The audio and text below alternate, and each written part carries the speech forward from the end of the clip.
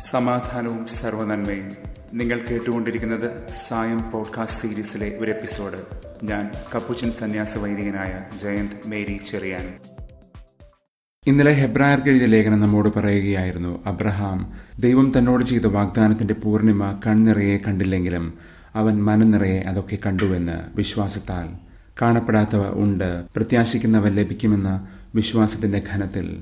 വാഗ്ദാനങ്ങളുടെ പൂർണിമയെ അവൻ ദൂരെ നിന്ന് കണ്ട് അഭിവാദനം ചെയ്തു എന്നാണ് ശ്രീഹ അവിടെ പറഞ്ഞത്.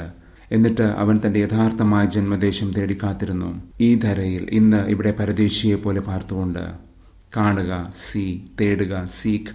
ഇന്നത്തെ നമ്മുടെ വചനവീതിയിൽ വെളിച്ചം പകരുന്ന രണ്ട് ധാരണകളാണിവ. ഇന്ന് ഒന്ന് കൊറീന്ത്യർ ഒന്ന് ഇരുപത്തി മുതൽ ശ്രീഹ പറഞ്ഞു തുടങ്ങുന്നത് തന്നെ കാണുക എന്നാണ്.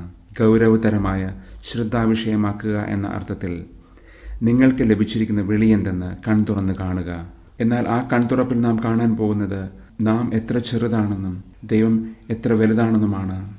നാം കടുകുമണി പോലെ ചെറുതാണ് പക്ഷെ വിശ്വാസത്തിന്റെ കടുകുമണി വളർന്നേറുമെന്ന് നാം കഴിഞ്ഞ ദിവസം കാണുകയായിരുന്നല്ലോ.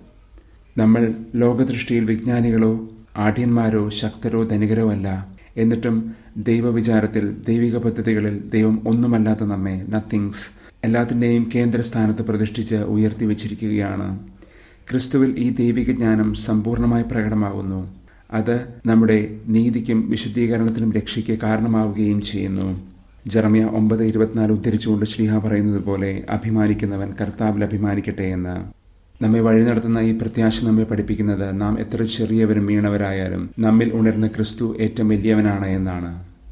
ഇന്ന് സെഫാനിയ പ്രവാചകൻ തേടുക എന്നതിന്റെ അർത്ഥം നമുക്ക് പകർന്നു തരുന്നുണ്ട്. സെഫാനിയ രണ്ട് മൂന്ന് മൂന്ന് പന്ത്രണ്ട് മുതൽ പതിമൂന്ന് വരെയും ദൈവത്തെ തേടുക ധരയിൽ എളിമയുള്ളവരെല്ലാം നീതിയെ തേടുക താഴ്മയെ തേടുക. ഈ താഴ്മയും എളിമയും ദൈവത്തിൽ മാത്രം ശക്തി കണ്ടെത്തുന്ന സ്വയമേവ യാതൊരു പെരുമയുമില്ലാത്ത എന്തിനേറെ ഒരു വറ്റ ചോറ് പോലും കയ്യിലില്ലാത്ത അനുഭവത്തിന്റെ ഭാവമാണ് അനാവ്യം. ദൈവത്തിന്റെ ദിനങ്ങൾ വരുന്നതിന് മുൻപ് നാം ഈ ഭാവത്തെ തേടണമെന്നാണ് സെഫാനിയ പറയുന്നത്. അതായത് ദൈവം നമ്മെ കണ്ടെത്തുമ്പോൾ നാം സ്വയം ഊതിപ്പെരിപ്പിക്കപ്പെട്ടവരായിട്ടല്ല ദൈവം കൈപിടിച്ചുയർത്തിയ എളിയ മനുഷ്യരായി മാറിയിരിക്കണം. കഴിഞ്ഞ ദിവസം ഹെബ്രായർ പത്ത് മുപ്പത്തൊമ്പത് പ്രത്യാശയും വിശ്വാസവും ചേർത്ത് വായിച്ച് പറയുകയുണ്ടായിരുന്നല്ലോ ഞങ്ങൾ പിന്മാറുന്നവരല്ല എന്ന് ഒപ്പോസ്റ്റോളി തേടുക എന്ന വാക്ക് സഫാനിയ രണ്ട് മൂന്ന് പറയുന്നതിന് തൊട്ടു മുൻപ് അതായത് സഫാനിയ ഒന്ന് ആറിൽ ദൈവത്തെ തേടാതെ പിൻവാങ്ങിപ്പോകുന്നവരുടെ മനോഭാവവും ശ്രദ്ധയിൽപ്പെടുത്തുന്നുണ്ട്. ദേശം അവകാശമാക്കാൻ പോകുന്ന ഒരു ശിഷ്ടഗണത്തെ റംനന്റ് ദൈവം ഉയർത്തുന്നു. മറ്റുള്ളവരെല്ലാം പിന്മാറിപ്പോയപ്പോഴും ദൈവത്തിലേക്ക് തിരിച്ചു വന്ന ഒരു ചെറിയ പറ്റമാണിത്. തിരിച്ചു വരിക വീണ്ടെടുക്കുക എന്നതിന്റെയൊക്കെ സൂചകമായ ഹീബ്രു പദത്തിന് നാം മാനസാന്തരം എന്ന് പറയുന്നതിന്റെ ഭാവമാണ് ഷൂബ് ദേശമെന്നത് ഒരു ഭൂമിശാസ്ത്ര പരിമിതിയല്ല അത് ദൈവരാജ്യത്തിന്റെ തന്നെ അവകാശമാണ്. എളിമയുള്ളവർ അത് കൈവശമാക്കും. ഇന്ന് സുവിശേഷ ഭാഗ്യത്തിൽ നാം അത് കാണും. സ്വന്തം ചെയ്തികളാൽ അപമാനിതരാക്കപ്പെട്ട ഒരു ജനത്തോടാണ് സെഫാനിയ ഇതൊക്കെ പറയുന്നത്. അത് മറ്റുള്ള എല്ലാ ജനതകൾക്കും ഒരു താക്കീതായി മാറ്റിക്കൊണ്ട്. ഇന്ന് ഒന്ന് കുറേന്ത്യരും സമാനമായ ഒരു രീതി അവലംബിക്കുന്നുണ്ട്. താഴ്ന്നവനെ ചേർത്ത് പിടിച്ചുകൊണ്ട് ദൈവം ചെയ്യുന്ന കാര്യങ്ങൾ ചൂണ്ടിക്കാണിച്ച് അത് ഗർവിഷ്ഠരെ എങ്ങനെ അപമാനിതരാക്കാൻ പോകുന്നുവെന്ന് ഓർമ്മിപ്പിക്കുകയാണ് അവിടെ. ഇന്നലെ നാം കാണുകയായിരുന്നു പ്രത്യാശ എന്ന പുണ്യത്തെക്കുറിച്ച്.